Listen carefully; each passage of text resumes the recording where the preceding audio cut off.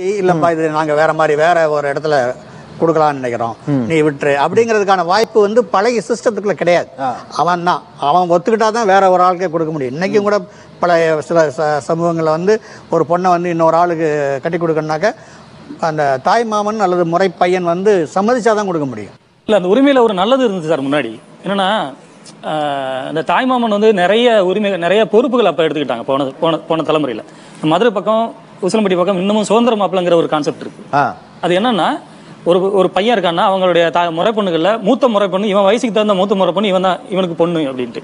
ஒருவேளை இந்த பையன் வந்து அந்த பொண்ணை கல்யாணம் பண்ணல அப்படின்னா அந்த பொண்ணுக்கான கல்யாண செலவை ஏத்துக்கணுங்கிற இது தண்டனை கொடுக்கணும் அந்த அந்த அந்த அந்த முன்னாடி இருந்த சொசைட்டில தன்னுடைய தங்கச்சி பிள்ளைகளுக்கு ஒரு தாய் மாமன் தன்னுடைய அக்கா தங்கச்சி பிள்ளைகளுக்கு கல்யாணம் பண்ணாம இருந்துடக்கூடாது. அவங்க இவங்க தான் கல்யாணம் பண்ணி வைக்கணும். ஒண்ணு இவங்க கல்யாணம் பண்ணிக்கணும். எல்லாம் இல்ல- பண்ணி வைக்கணும். எல்லாம் பண்ணி வைக்கணும். அந்த பொறுப்பை வந்து இவங்க எடுத்துக்கிட்டாங்க. அவர் சொல்ற அந்த நெருக்கடி இருக்குல்ல? அந்த நெருக்கடி பெற்றோர்களுக்கு மட்டும் இல்ல. முறை ம- தாய்மாமனுக்கு இருக்கு. ஏன்னா இந்த பொண்ணுக்கு கல்யாணம் பண்ணி வைக்கிற பொறுப்பு அவனுக்கு இருக்குங்கிற மாதிரியான ஒரு சமூக கட்டுப்பாடு இருக்கு. அதனால அவனுமே பயப்படுறான். அந்த நெருக்கடியே இன்னைக்கு வந்து நவீன சமூகம் அப்படியே கொஞ்சம் கொஞ்சமா உதற விரும்புது. ஆனா அதுக்காக இந்த உறவை அண்ணன் தங்கச்சியை உறவா மாத்துறது எப்படி? அப்ப அந்த உறவே கில் ஆயிடாதா? அதைத்தான் செய்யும். அது ஒரு அதான் நல்லதா? அதான் அவங்க விரும்புறாங்க. நான் வந்து நான் ரெண்டா பிரிக்கிறேன். ஒன்று வந்து இது அப்படிதான் நடந்துகிட்டு இருக்குங்கிறது ஒன்று ரெண்டாவது தமிழ் சமூக கட்டமைப்பு குறித்த ஒரு பார்வை வைத்திருக்கக்கூடியவர்களுக்கு இந்த உறவு தொடர்றது நல்லதுன்னு நினைக்கிறீங்களா? இல்லை இது அப்படி விட்டுறது ஓகே தான்? உறவு தொடர்ந்தாதான் நல்லது நமக்கு. நம்ம அடையாளம் இல்ல அது. சிறப்பான நம்ம நம்ம கலாச்சாரத்துடைய முக்கியமான ஒரு அடையாளம். அது நல்ல நல்ல அடையாளம் தானே அது. அதை இழக்கிறது நமக்கு இழப்பு தான் அது. நீங்க அதை எப்படி பாக்குறீங்க இல்ல, அப்படி தொடரும்னு நான் நினைக்கல. ஆ. அது ஒரு ஒரு கட்டத்தில் அது வேண்டாம்னு தான் நினைக்கிறேன். ஏன்? ஏன்னா நான் ஏற்கனவே சொன்ன மாதிரி தான் ஒரு இது வந்து ஒரு உறவு அதை சொல்லி ஒரு ஆணுக்கு இப்போ சிக்கலே கிடையாது. பெண்ணுக்கு வந்து ஒரு ஒரு பெண் மேலே ஆதிக்கம் செலுத்துறதுக்கு ஆணுக்கு ஆதிக்கம் செலுத்துறதுக்கு ஒரு வாய்ப்பு இருக்கு. அந்த வாய்ப்பு தொடர வேண்டியதில்லை. இல்ல அப்படி சார் என்ன சிலது வந்து நீங்க எங்க ஜெனரேஷன்ல மேபி சார் ஜெனரேஷன்ல அது இருந்திருக்கலாம். என்னோட ஜெனரேஷன்ல வந்து மா- முறப்பையங்கிறதுனால வலுக்கட்டாயமா கல்யாணம் பண்ணதுல இல்ல. ரெண்டு பேருக்கு பிடிச்சு அது ஒரு எப்படி ஒரு லவ் எப்படி கிரியேட் ஆகுதோ அதே மாதிரி தான் அது இருந்துச்சு. அப்படி நான் முறப்பையன் அப்படிங்கறதுனால அந்த பொண்ணை தூக்கிட்டு போய் கல்யாணம் பண்ணுவாங்கிறது எனக்கு தெரிஞ்சு நடக்கல. அதனால அதே மாதிரி நான் நினைக்கிறேன். இல்லைப்பா எல்லாமே வந்து இதுதான். எல்லாமே வந்து இது இப்படி தான் நடக்குதுன்னு நான் சொல்ல வரல. அதுக்கான வாய்ப்பு இருக்காது. இப்போ இப்போ உங்க மேல ஆதிக்கம் இருக்கா? முறை பையன்கிற அடிப்படையில் உங்க மேல ஏதாவது ஆதிக்கம் இருக்கா? உரிமை இருக்கு ஆதிக்கம் இல்ல சார் ஓகே. ஆதிக்கம் இருக்கா? அப்படி ஆதிக்கம் செலுத்தலாம் யாருமே இல்ல சார் எங்க எங்களோட பாயிண்ட் என்னன்னு எங்க கிட்ட கேக்குறாங்க. ஆ- ஆதிக்கம்லாம் அவங்க செலுத்தவே இல்லை இந்த காலகட்டத்தில். ஏன்னா ரியாலிட்டியில இந்த ஆதிக்கம் இப்போ ஒன்றும் பெருசா இல்லை. அப்படி clear- அப்படி இல்லாத பட்சத்துல ஏன் இந்த உறவை நம்ம அபாலிஷ் பண்ணிட்டு போயிடுவோம் அது பெட்டர்னு தோணுது உங்களுக்கு. இங்கே வந்திருக்கவங்கெல்லாம் இடத்தால இதோட இந்த உறவை வந்து ரொம்ப குளோரிஃபை பண்ணுற அந்த மாதிரியான ஒரு டீனேஜ் குரூப் தான் வந்திருக்கு. இதுக்கு மாறாக சிந்திக்கிறக்கூடிய ஒரு நவீன பெண்களும் நவீன ஆண்களும் இருக்காங்க. அவங்க கிட்ட தான் இதை பற்றி நம்ம கேட்கணும். ஏன்னா இவங்க இப்போ நீங்கள் இல்லை சொல்கிறேன் இல்ல. இப்போ இந்த சாமுண்டீஸ்வரி இங்க வந்து பெண்ணியம் பேசின பொண்ணுதான் அதாவது என்னன்னா ஒரு உறவின் தன்மை ஒரு காலகட்டத்தில் ஆதிக்கம் செலுத்துவதற்கான வாய்ப்பை கொடுத்தது.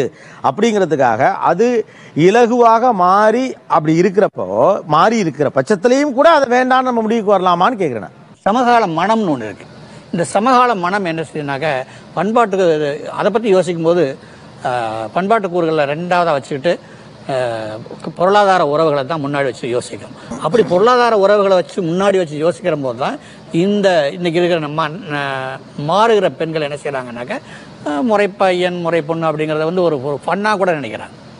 என்ன? அது ஒரு ஒரு ஒரு நேரத்தில் ஒரு ஃபன் அது. ஆனால் இன்னைக்கு அதை வந்து நம்ம வந்து தொடர்ந்து கண்ணி பண்ண முடியாது. இல்லை சார் நான் இதை ஒத்துக்கல. என்ன என்னென்னா நம்ம இந்த சமூகம் அப்படின்னு சொல்கிறோம்ல இவங்க தான் இளைய தலைமுறை அந்த பக்கம் இருக்கிற ஒரு இருபத்தஞ்சு பேர் இந்த பக்கம் இருக்கிற ஐம்பது பேர். இந்த ஐம்பது பேரோட மெஜாரிட்டி கேட்டீங்கன்னா எங்களுக்கு இந்த உறவு பிடிச்சிருக்கு நாங்க வேணும்னு நினைக்கிறாங்க. அப்ப இருந்துட்டு போட அது நல்லது தானே அவ்வளவுதானே.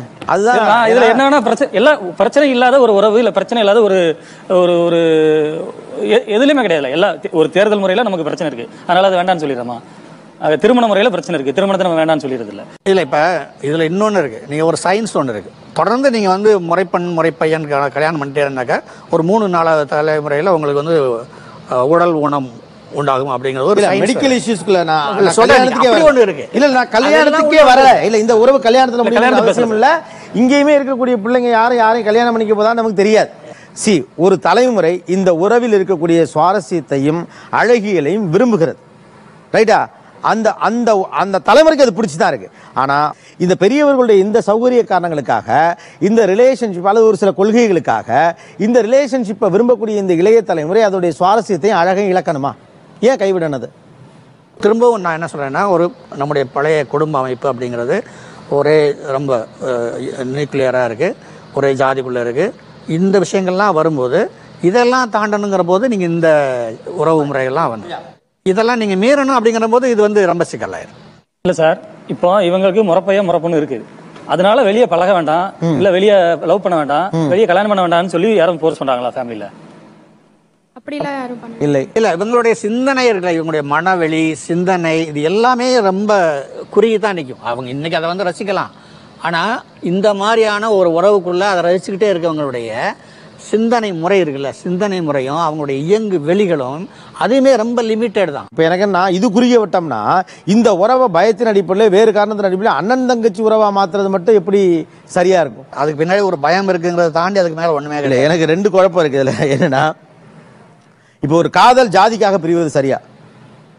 அது யாரும் தடுக்க முடியாது நடக்கிறது இல்லை தொடர்ந்து என்ன நடந்துகிட்டே. கேட்குறேன்னா அப்ப ஒரு ஜாதிக்காக ஒரு காதல் நடக்கக்கூடாது அப்படின்னு சொல்றது தவறுனா ஒரு கொள்கைக்காகவும் நீங்க இந்த உணர்வுலேருந்து வெளியில வந்துக்கங்கன்னு சொல்றது மட்டும் எப்படி சரியா இருக்க முடியும்? இல்லை இது யாரும் ஃபோர்ஸ் பண்ணுறது இல்லைங்கிறேன் அது இயல்பாக நடந்துட்டு இருக்கு. இந்த முறை பெண் முறை மாமன் வேண்டான்னு நான் சொல்றது கூட இது இயல்பாக நடந்துட்டு இருக்க ஒழிய நானும் நீ அரசாங்கமோ வந்து இதை ஃபோர்ஸ் பண்ணி நிப்பாட்டதில்லை நான் உங்ககிட்ட ஒரு கேள்வி கேட்க நினைக்கிறேன். உங்களுக்குள்ள கல்யாணம் பாசிபிளா இல்ல சார் கல்யாணம் எண்ட்ல போய் கல்யாணங்கிறதுல முடியல. அதையும் தாண்டி எங்களுக்குள்ள இந்த ஒரு முறை பொண்ணு முறை பையன் அப்படிங்கிற ஒரு ரிலேஷன்ஷிப் தான் இருக்கே ஒழிய ஃபியூச்சர்ல போயிட்டு ஒரு ஹஸ்பண்ட் அண்ட் ஒய்ஃப் அப்படின்னு எங்களுக்கு தோணவே இல்லை. உங்களுக்குள் திருமணம் சாத்தியமா? இருக்கு. இருக்கு ஃபைன் ஷோபன் நீ என்னை விட பெரிய பையனா இருந்தா மேபி எனக்கு அந்த ஒரு க்ரஷ் ஒரு ஃபீல் இருந்திருக்கலாம் வந்திருக்கலாம். அதை நான் இது வரைக்கும் யார்ட்டையும் சொன்னதில்லை நான் வாடா இந்த ரிலேஷன்ஷிப் நான் எப்படி பாக்குறேன்னா ஐ டாக் வித் him. அவன் என்னோட அண்ணா கிடையாது. அவன் என்னோட ஃப்ரெண்டும் கிடையாது. He is a person with who I travel. If at all எனக்கு அப்படி ஒரு ஃபீல் இருந்துச்சுன்னா நான் அவனை கல்யாணம் பண்ணிப்பேன். பட் தேர் நோ ப்ரெஷர் எனக்கு அந்த பையன் கூட செட் ஆச்சுன்னா ஹி வில் பி மை பார்ட்னரே தவிர.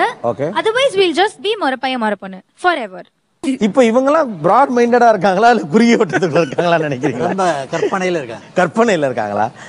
எப்படி சொல்றீங்க இவங்க கற்பனையில எல்லாமே கற்பனை தான். அதான் இவங்க இவங்க வந்து எங்க வந்து இன்னும் அந்த பிரச்சனைகளை சந்திக்கல. இந்த பிரச்சனை எப்படினாலும் வரும் சார். வரும். இருபது வயசு இருபத்தஞ்சு வயசுக்கு. குடும்பத்துல பிரச்சனை வரும். அன்னைக்கு பிரச்சனை வரும்னு இந்த என்ஜாய்மெண்ட் எதுக்கு விடுறீங்க? பேசுறதை நான் ரொம்ப ரசிக்க தான் செய்யறேன் அந்த கற்பனை இது ஒரு ஒரு என்டர்டைன்மெண்ட் தானே. இல்ல, அந்த கற்பனைகள்லாம் ரசிக்கக்கூடிய. நாஸ்டாலஜியா நாளைக்கு பின்னாடி நினைச்சு பார்த்து சிரிச்சுக்கலாம். நாளைக்கு இது பண்ணும்போது. இதனால நம்மள பாதிக்கப்படக்கூடிய விஷயம் எதுவும் இருக்கதா நான் நினைக்கல ஆக்சுவலா அதனால இது ஒரு நல்ல சந்தோஷமான விஷயம் தான். இந்த சொந்தத்துல முறைப்பையனையோ முறைப்பெண்ணையோ கல்யாணம் ஆறாம் சாமி இதை கோட் பண்ணார். அது மருத்துவ ரீதியான பல்வேறு சிக்கல்களை அடுத்த தலைமுறைக்கு பிள்ளைகளுக்கு உருவாக்கும் அப்படிங்கிறாங்க. ஆனா இல்லைங்க அப்படிலாம் இருந்துன்னு சொல்லப்பட்டாலும் கூட அதை தாண்டி நான் திருமணம் செய்ய விரும்புகிறேங்கிறவங்க யார்? பண்ணவங்க யார்? எங்க வீட்லயும் இந்த பத்தி பேச்சு வந்துச்சு. ஆனா எங்க குடும்பத்துல நிறைய பேரு அத்தை பசங்க அப்படிதான் கல்யாணம் பண்ணிருக்காங்க எங்க அம்மாவே அத்தை பசங்க அவங்க தான் கல்யாணம் பண்ணிருக்காங்க அண்ணன் தம்பி அண்ணன் தம்பி அக்கா தங்கச்சி அப்படி கல்யாணம் பண்ணிக்கிட்டாங்க. அவங்களுக்கு மூணு பிள்ளைங்க. எங்க பெரியம்மாவும் நல்லா தான் இருக்காங்க. அவங்களுக்குலாம் எந்த குறையுமே இல்லை.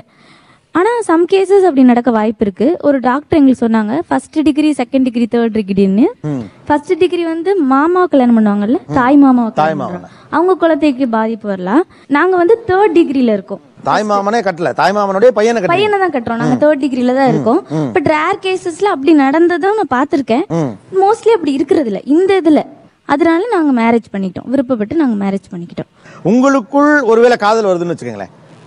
ஆனா நீங்கள் திருமணம் செய்து கொண்டால் அது அடுத்த தலைமுறையை பாதிப்பதற்கான வாய்ப்புகள் இருக்கு என்று சொல்லப்படுகிறது so what you going to sir கண்டிப்பாக பயம் இருக்கும். ஏன்னா இது வந்து ஒரு ஃபியூச்சர் ஸோ அதை பார்த்துக்கோ பார்த்துக்க வேணும். எல்லாம் நிறைய பிரச்சனை இருக்கிறதுல ஃபர்ஸ்ட் இந்த தாட் வரும்போதே என்ன ஆகும்னா அந்த ரிலேஷன்ஷிப் பிரேக் ஆகும். ஸோ அந்த அந்த மைண்ட் செட் போயிடும். ஸோ நம்ம வந்து எல்லாரும் சொல்லலாம் மெடிக்கல் ஃபெசிலிட்டிஸ் பார்க்கலான்னு. மேக்ஸிமம் பார்க்க மாட்டாங்க. வாய்ப்பு இருக்காது. வாய்ப்பு இருக்கவங்க பார்ப்பாங்க. இல்லாதவங்களுக்கு பிரச்சனை வரும். இன்னைக்கு இன்னைய தேதியிலேருந்து பார்க்குறப்ப இது ரிவர்ஸில் இருக்குது. ஒரு காலகட்டத்தில் இது சமுதாயம் என்கரேஜ் பண்ணுச்சு. சொசைட்டி என்கரேஜ் பண்ணுச்சு. ஆனால் இன்னைக்கு இது இல்லை. இன்னைக்கு கிட்டத்தட்ட இதை சமுதாயம் வந்து வேறொரு டோனில் தான் பார்க்குது. பெரியவங்க இதை எதிர்க்கிறாங்க. ஏன்னா அவங்களை சிப்பாங்க முற்போக்காளர்கள் வேறொரு காரணத்துக்காக இதை எதிர்க்கிறாங்க. ஆனால் பட் இளைய தலைமுறை இதனுடைய சுவாரஸ்யத்தையும் இது அழகிலையும் தன் கைக்குள்ளே வச்சுக்கணும் அப்படின்னு ஆசைப்படுது. வச்சுக்கோங்க அந்த கண்ட்ரோலோட பியூட்டிஃபுல்லாக அது நல்லா தான் இருக்கும். உண்மையாகவே எனக்கு ஒரு முறை பையனா என்ன பொசசிவ்னஸ்